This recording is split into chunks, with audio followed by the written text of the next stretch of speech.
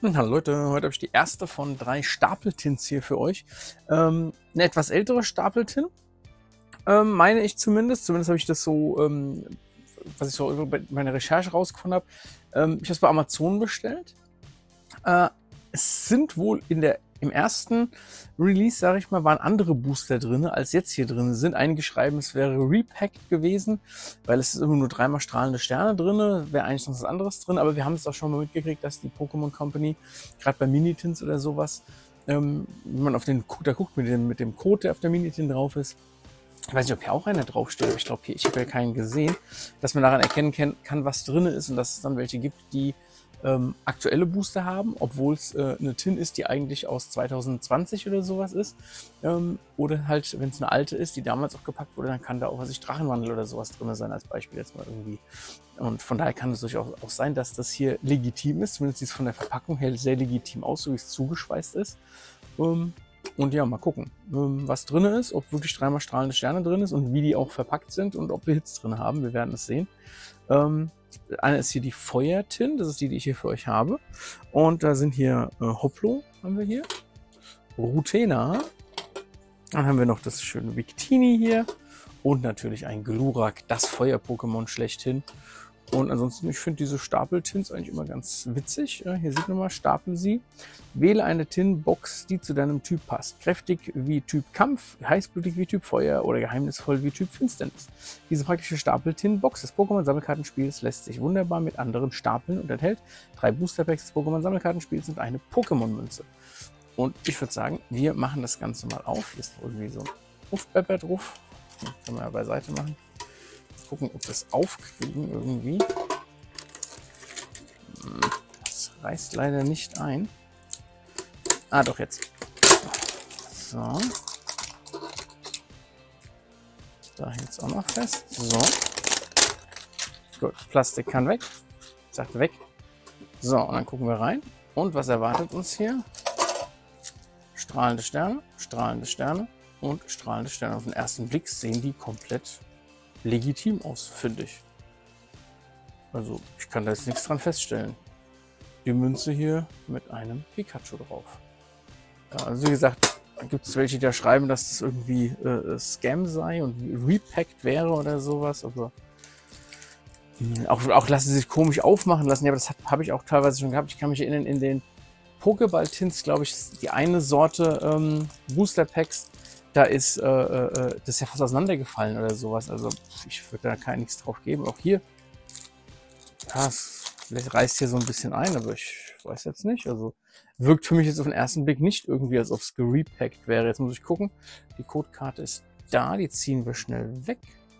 Dann eins, zwei, drei, vier Karten nach vorne. Wir haben keine Energiekarte zum Raten, denn es ist eine V-Star-Karte.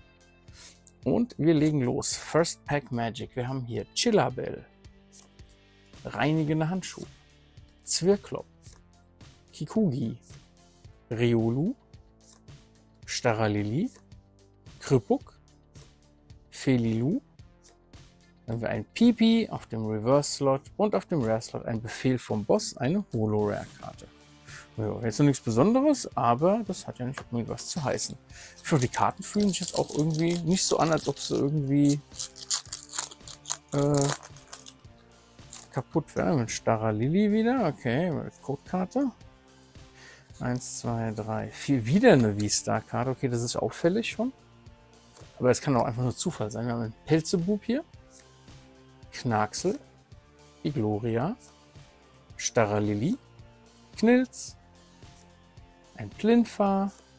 Ein Chelast. Krippuk.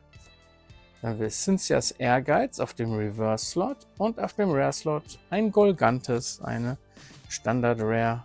Okay. Last Pack Magic. Mal gucken, wie es hier aussieht. So, die Codekarte.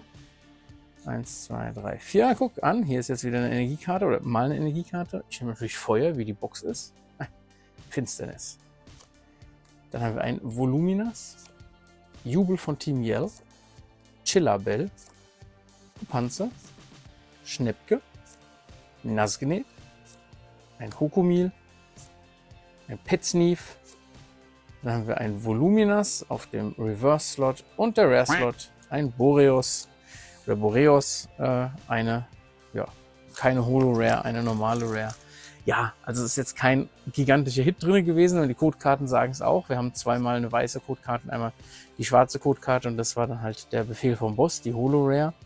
Ähm, ja, das hat nicht unbedingt was zu heißen, finde ich. Ähm, das da kein, es, ich hatte auch schon, wie gesagt, ganze, äh, auch Pokéball-Tins oder so oder sogar ganze Kollektion mit vier Boostern, wo nicht ein Hit drin war. Also es hat noch nichts zu heißen. Wir haben ja noch zwei Stück zum Aufmachen, die werde ich auch noch äh, in jeweils ein Video äh, euch zeigen. Ich denke mal, danach kann man dann eher dann beurteilen, wenn das natürlich auch alles, äh, äh, alle drei Tins, alle drei Stapeltins keine Hits enthalten, ja. Selbst dann könnte man, selbst, also selbst das kann auch Zufall sein. Also das ist halt immer alles doch wirklich sehr, sehr random hier und ähm, ja, man kann Glück haben, äh, man kann aber Pech haben. Also ich weiß nicht, ich hätte jetzt nicht den Eindruck, dass da irgendwas gerepackt wäre oder so irgendwas hier. Ja, das ist hier oben, das ist hier oben, das, was sie gesagt haben, das ist schon ziemlich, äh, es lässt sich da nicht auftrennen hier. Es ist doch hier. Doch, doch, doch, doch, doch, da schon. Also, nee, das ist nicht, das wirkt nicht, als ob es geklebt wäre oder so. Also, wie gesagt, finde ich jetzt, ähm, weiß nicht, schreibt mir mal eure Meinung in die Kommentare. Was glaubt ihr? Habt ihr euch diese äh, Stapeltins ja auch bei Amazon bestellt mit den drei strahlende Sterne äh, Boostern drinne? Ähm, was habt ihr für einen Eindruck? Hattet ihr Hits drinne? Äh, ja oder nein? Meint ihr, die sind gerepackt in irgendeiner Art und Weise? Und dann äh, zurückgeschickt worden an Amazon oder so. Also ich habe jetzt irgendwie nicht so den Eindruck. Aber mal gucken, was die anderen beiden Tins noch so bringen. Ich bin gespannt. Ja. Gut, ich sage danke fürs Einschalten und bis zum nächsten Video. Macht's gut, Leute. Ciao, ciao.